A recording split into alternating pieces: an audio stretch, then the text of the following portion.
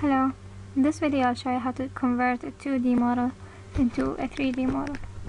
So let's suppose that you drew this uh, geometry in 2D and now you want to make the study in 3D. So what you do is that you click here and then you go to, okay let me show you. You right click and you go to export to file. And then uh, you choose the COMSOL multiphysics binary file or DXF so I'll just choose the binary file. And I'll name it uh, anything. And then I'll hit export. Okay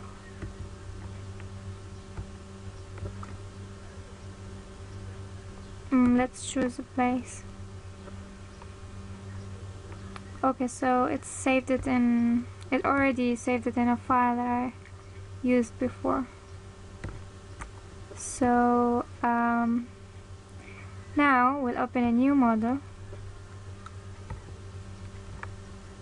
File new uh whatever yes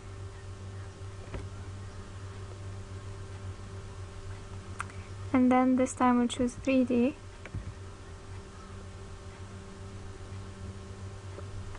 my computer is a little slow. It didn't have a rest in weeks. So uh, for this study I'm just choosing electrostatics. Depends on what kind of thing you want to do. So now I have my 3D model. Not ready yet so you add a work plane and then on the plane geometry you uh, select import and then you browse and you choose the file you named anything and then you open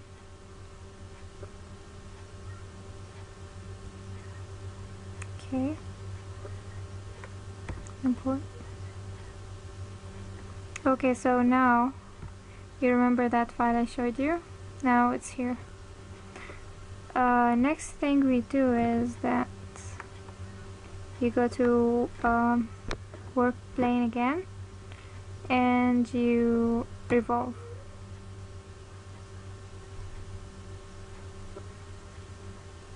Okay then you build selected.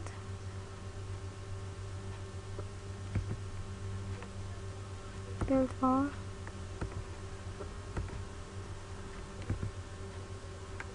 build selected.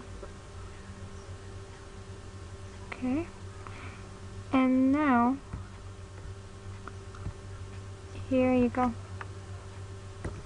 Here's your 3D model let's zoom out.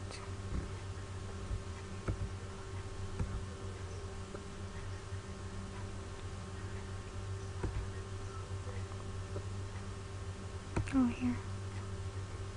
Here's the 3D model of what we of the 2D model that we had previously. I hope this helps